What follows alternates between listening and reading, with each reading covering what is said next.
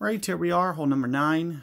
Um, you know, more or less, you, you can see that I'm going to go Titan ball. I'm thinking right around six on the top spin, somewhere around there. And the, what the Titan's going to do is hopefully, you know, keep it to where it will launch and still make it up to the fairway. That's one of the main reasons that I'm not going to go Kingmaker here.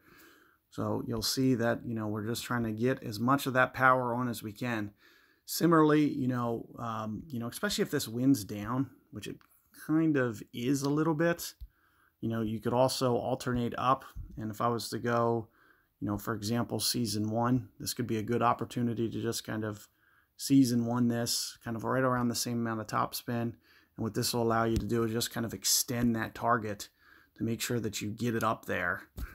um, but if that wins up, you know, in the tens, um, for that Titan. You know, it's plenty. Even what we had was probably still plenty, but this will just kind of ensure that you get this up here and that you can keep this into the uh, range of the sniper easily.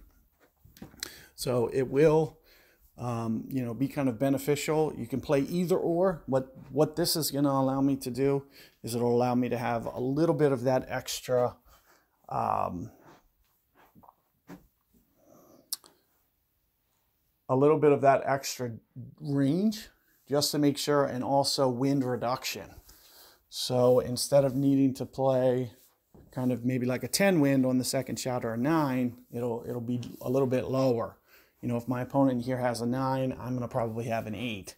So it does just make the adjustment a little bit easier. Now typically we're going to be shooting down to a very low target here. Um, so I'm going to do kind of a significant overplay here. So I'm thinking somewhere in the neighborhood of plus 50%, just as kind of like an overplay. Um, it's kind of like a combination of elevation, downhill target, plus we need to overplay. So what I'm going to essentially do, instead of offsetting my guide, I'm going to put my guide at a specific spot on the green and then just overplay the rings. So here you can see max club is going to be up here. Um, you know, I'm kind of towards mid club a bit, so I might, you know, I might use kind of that mid-ish. I'm thinking like 11-ish rings here, somewhere in the neighborhood of that.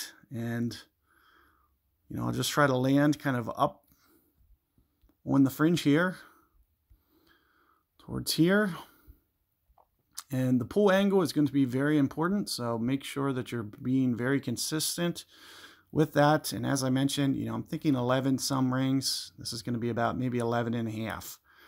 So we're going to go for this shot right around 11 and a half rings in this case.